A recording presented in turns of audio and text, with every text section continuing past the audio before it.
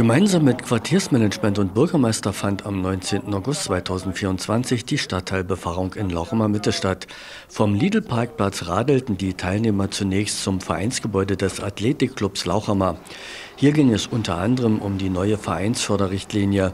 Bürgermeister Mulkubu erklärte die Notwendigkeit der Erhöhung der Betriebskosten für die Vereine.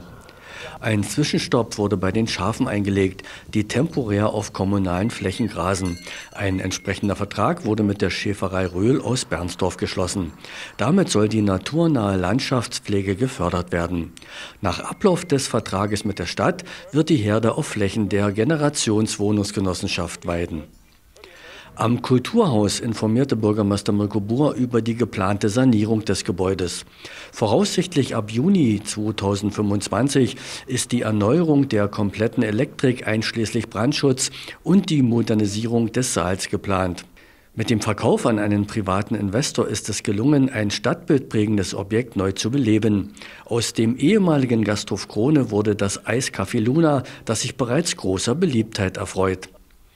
Die Sanierung des Wagner-Ecks in der Neustadt 1 verläuft planmäßig. 38 Wohnungen mit Terrasse oder Balkon werden hier bis Ende 2025 entstehen.